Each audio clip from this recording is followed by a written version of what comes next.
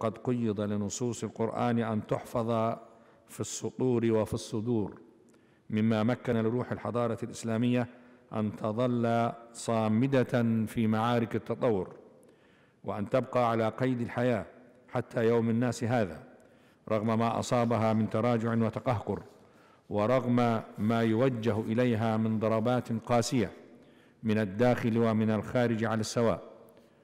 وكانت دائما كالجمرة المتقدة التي لا يخبو لها أوار حتى في زمن التراجع والنكوص.